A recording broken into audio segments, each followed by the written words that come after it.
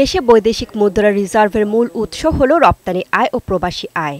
গত অর্থ বছরে জুন মাসে প্রবাসীদের পাঠানো আয় বা রেমিটেন্স প্রবাহ আগের বছরের তুলনায় কমে যায়। তবে চলতি অর্থ বছরের প্রথম মাসেই রেমিটেন্স প্রবাহে দেশের অর্থনীতিতে কিছুটা স্বস্তি ফিরতে শুরু করে। বাংলাদেশ ব্যাংকের তথ্য মতে, দুই হাজার বাইশ তেইশ অর্থ বছরের প্রথম মাস জুলাইয়ের আঠাশ দিনে একশো ছিয়ানব্বই কোটি ডলার বা এক দশমিক নয় ছয় বিলিয়ন ডলার দেশে পাঠিয়েছেন প্রবাসীরা, যা গত বছরের একই সময়ের চেয়ে পাঁচ শতাংশ বেশি। আর দুই হাজার একুশ বাইশ অর্থ বছরে প্রবাসী আয় আসে একুশ দশমিক শূন্য তিন বিলিয়ন ডলার। তার আগের অর্থ বছরে প্রবাসী আয় ছিল চব্বিশ দশমিক সাত আট বিলিয়ন ডলার।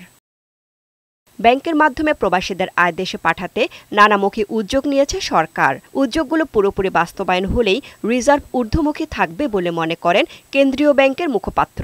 লাক্সারিয়াস আইটেমের যে এলসিগুলো, সেটা যদি আমরা দেখভাল করে যদি কমিয়ে আনতে পারি এবং আমাদের রেপিডেন্সের প্রবাহ যেভাবে চলছে, এরা যদি অব্যাহত রাখতে পারি, পাশাপাশি যদি আমরা এক্সপোর্টটাকেও যদি আরও বৃদ্ধি করতে পারি ইম্পোর্ট এবং এক্সপোর্টের গ্যাপটা কমে আসবে এবং আমাদের রিজার্ভের উপরেও প্রেশারটাও কমে আসবে।